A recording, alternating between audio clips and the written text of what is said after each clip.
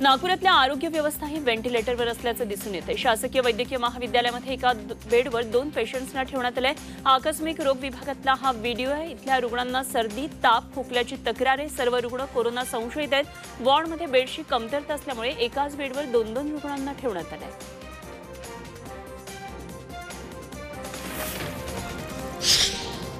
नाशिक जिल्हा रुग्णालयातल्या आरटीपीसीआर प्रयोगशाळेच्या भोंगळ कारभारामुळे शहरामध्ये पाच हजाराहून अधिक नमुने हे प्रलंबित राहिलेत.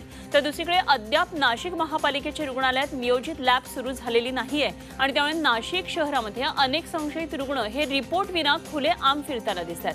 जिल्ह्यात सरासरी तीन हजार रुग्णांची रोज भर पडतीये तर दहा जणांचा मृत्यू होतोय आणि अशा धोकादायक परिस्थितीमध्ये हा भोंगळ कारभार अजूनही सुरूच आहे. आज या परिस्थितीचा आढावा घेण्यासाठी पालकमंत्र्यांच्या उपस्थितीत अधिकाऱ्यांची एक बैठक बैठक आयोजित करण्यात आली आहे.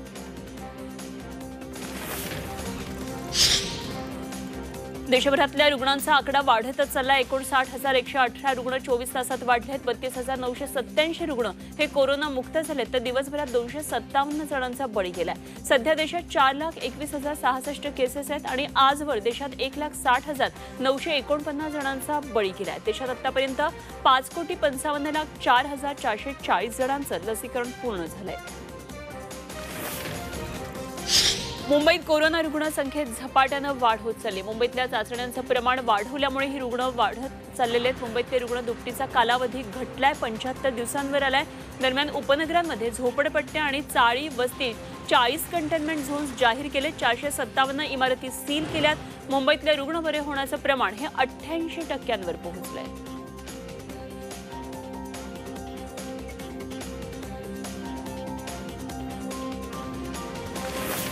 लोकलमधली गर्दी टाळण्यासाठी मुंबई मनपानं आता खासगी कार्यालयांवर कठोर निर्बंध लादलेत खासगी कार्यालयांमध्ये केवळ पन्नास टक्के कर्मचाऱ्यांच्या उपस्थितीचा आदेश आहेत आणि याच्या अंमलबजावणीसाठी प्रत्येक विभागात मनपानं पाच पथकं तैनात केली आहेत. ही पथकं खासगी कार्यालयांवर नजर ठेवणार आहेत. पंधरा फेब्रुवारीला सुरू झालेली कोरोनाची दुसरी लाट शंभर दिवसांपर्यंत राहू शकते असा दावा एसबीआयच्या आर्थिक संशोधन विभागानं केलाय. देशामध्ये दुसऱ्या लाटेचा प्रभाव मे पर्यंत राहू शकतो मात्र एप्रिलच्या मध्यापर्यंत या लाटेचा जोर वाढू शकतो असा निष्कर्ष काढण्यात आलाय. कोरोनाची दुसरी लाट पहिल्या लाटेपेक्षा सुद्धा तीव्र असल्याचं या अभ्यासातून सांगण्यात आलंय. कोरोनाला रोखण्यासाठी मोठ्या प्रमाणावर लसीकरण होणं हाच एकमात्र प्रभावी उपाय असल्याचं एसबीआयच्या या अहवालामध्ये नमूद करण्यात आलंय. देशामध्ये आढळलेल्या कोरोनाच्या नव्या स्ट्रेनची वेगळीच लक्षणं आता समोर येत आहेत. उलट्या अस्वस्थता पोटदुखी आणि अतिसार अशी नव्या स्ट्रेनच्या रुग्णांमध्ये आढळून येत आहेत. नव्या स्ट्रेनचा थेट परिणाम हा घसा फुफ्फुस आणि मेंदूवर होतोय. त्यामुळे उलट्या पोटदुखीचा त्रास होत असल्याचं तज्ज्ञांचं म्हणणं आहे. दिल्लीमध्ये नव्या स्ट्रेनचे रुग्ण आढळलेत. नवी लक्षणं असलेल्या बहुतेक रुग्णांची प्रकृती ही चिंताजनक आहे. बीड जिल्ह्यामध्ये कोरोना रुग्णांची संख्या झपाट्यानं वाढती आणि त्याच पार्श्वभूमीवर जिल्हाधिकाऱ्यांनी आजपासून पुढचे दहा दिवस हा लॉकडाऊनचा निर्णय घेतला त्यामुळे पुढचे दहा दिवस बीड जिल्ह्यात कडकडीत लॉकडाऊन असणारे बीडच्या जिल्हाधिकाऱ्यांनी अनेक वेळा सूचना दिल्या मात्र या सूचनांचं पालन होताना दिसत नाही आणि त्यामुळे परिस्थिती नियंत्रणात यावी यासाठी हा निर्णय घेतला. अमरावती जिल्ह्याच्या ग्रामीण भागामध्ये कोरोना पुन्हा हातपाय पसरतोय. जिल्ह्याच्या ग्रामीण भागात दोनशे एकोणपन्नास कंटेनमेंट झोन आहेत आणि जिल्ह्यातल्या एकशे ब्याण्णव गावांमध्ये कोरोना बाधित रुग्ण वाढलेले आहेत. एकशे ब्याण्णव गावात दोन हजार पंचावन्न ऍक्टिव्ह रुग्ण आहेत. जिल्हा आरोग्य अधिकारी दिलीप रणमुले यांनी माहिती दिली आहे. पंढरपुरातल्या श्री विठ्ठल रुक्मिणी मंदिर आता दर्शनासाठी फक्त बारा तास खुलं राहणार आहे. सकाळी सात ते संध्याकाळी सातपर्यंत भाविकांना दर्शन घेता येणार आहे. कोरोनाच्या वाढत्या प्रादुर्भावामुळे जिल्हाधिकाऱ्यांनी हे आदेश दिले. ठाणे जिल्ह्यामध्ये रुग्णांचा आकडा वाढत चाललाय. ठाणे शहरामध्ये एका दिवसात नऊशे बत्तीस जण पॉझिटिव्ह आढळलेत आणि ऍक्टिव्ह रुग्णांचा आकडा सहा हजार एकशे सत्तावीस झालाय. तर ठाणे ग्रामीण भागामध्ये सातशे पंचेचाळीस ऍक्टिव्ह रुग्ण आहेत. सत्याहत्तर रुग्णांची दिवसभरामध्ये वाढ झाली आहे. जिल्ह्यात एकूण सात जणांचा मृत्यू झालाय. अँटेलिया स्फोटक प्रकरणामध्ये एनआयच्या तपास आता वेगानं सुरू झाला. या तपासातला एक भाग असलेल्या मनसुख हिरेन यांच्या मृत्यूचा तपास हा एनआयनं सुरू केलाय. आणि काल रात्रीच्या सुमारास एनआयची टीम सचिन वाझेला घेऊन मुंब्रा रेतीबंदर परिसरात पोहोचली. एटीएसच्या रिपोर्टनुसार ही हत्या कशी झाली याबाबत माहिती समोर आलेली आहे. मात्र नेमकी घटना कशी घडली याबाबत एनआयकडून आता तपास सुरू आहे.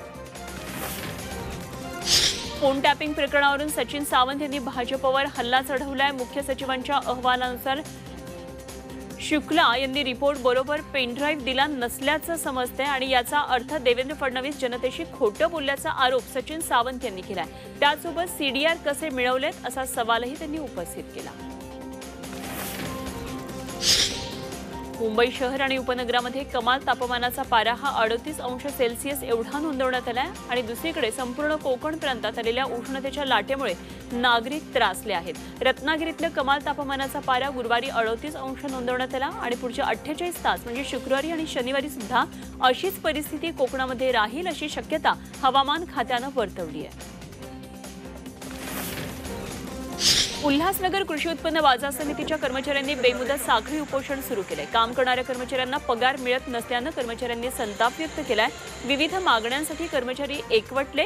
महाराष्ट्रातल्या सर्व बाजार समित्या सक्षमपणे काम करतात. मात्र आमची बाजार समिती ध्येय धोरणांवर काम करत नसून संचालक मंडळ आणि सचिव यांचं दुर्लक्ष होत असल्याचं मत कर्मचाऱ्यांनी व्यक्त केलंय. शिक्षण हक्क कायदा अर्थात आर टी ई अंतर्गत होणारे प्रवेश रखडण्याची शक्यता आहे. शासनाकडून आर टी ई अंतर्गत यावर्षी शाळांना सुमारे दोनशे कोटी रुपये शुल्क प्रतिपूर्तीची रक्कम मिळेल अशी अपेक्षा व्यक्त केली जात होती. मात्र केवळ पन्नास कोटी रुपयांचा हा निधी मंजूर करण्यात आलाय आणि त्यामुळे आरटीई प्रवेशावर बहिष्कार घालण्याचा निर्णय शाळांनी घेतलाय. शासनानं चुकीच्या पद्धतीनं कारवाई करण्याची धमकी दिल्यास सर्व शाळा बंद ठेवल्या जातील आणि त्याला राज्य शासनच जबाबदार असेल असा इशारा संस्थाचालक संघटनेनं दिला आहे ओला आणि उबर चालकांकडून संपाचा इशारा देण्यात आलाय. किमान गाडी भाडं वाढवण्याची मागणी करण्यात येते छोट्या गाडीचं भाडं पंचवीस रुपयांवरून शंभर रुपये इतकं करण्याची मागणी केली जाते. सोन्याचं स्मगलिंग करणारे सर्वात छोटे चोर आपण कधी पाहिले नसतील तर हे सोनसाखी लांबवणारे छोटे चोर पहा. अचंबित व्हाल सोनं चोरणाऱ्या या छोट्या चोरट्यांचा व्हिडिओ सध्या सोशल मीडियावर चांगलाच व्हायरल होतोय. I P S officer Dipanshu Kabra यांनी हा व्हिडिओ शेअर केला आणि नेटकऱ्यांनी त्याला चांगलीच पसंती दिली आहे. व्हिडिओमध्ये मुंग्यांची एक रांग सोन्याची ही साखळी वाहून नेताना दिसते आणि या व्हिडिओला कॅप्शन आहे सबसे छोटे गोल्ड स्मगलर भारत आणि इंग्लंड यांच्यामध्ये आज पुण्यामधल्या गहुंजे स्टेडियमवर दुसरी वनडे मॅच रंगणार आहे. पहिल्या वनडेमध्ये टीम इंडियानं इंग्लंडवर सहासष्ट रन्सनं मात केली होती. पहिल्या वनडेत टीम इंडियानं चमकदार कामगिरी केली होती आणि त्याच प्रकारची कामगिरी क्रीडाप्रेमी टीम इंडियाकडून आज करतात. आजची मॅच जिंकून सिरीजवर कब्जा करण्याच्या इराद्यानं टीम भंडाऱ्याची उधळण. म्हणजे?